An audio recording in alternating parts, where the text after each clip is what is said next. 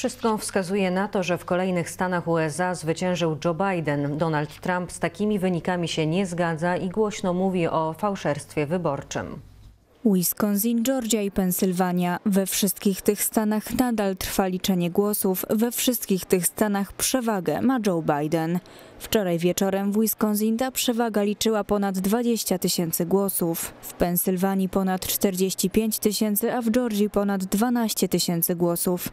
W ocenie mediów Donald Trump szans na nadrobienie strat już nie ma, tym bardziej, że kart do zliczenia zostało już niewiele.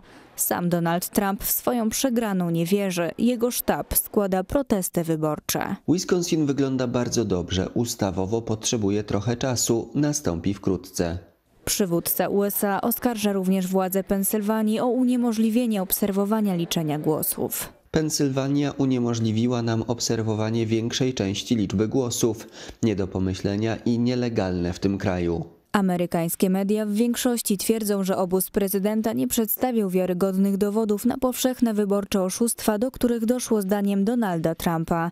Wczoraj rzecznik Białego Domu wystąpiła z zarzutem przeciwko Partii Demokratycznej, twierdząc, że ta dała przyzwolenie na fałszerstwa.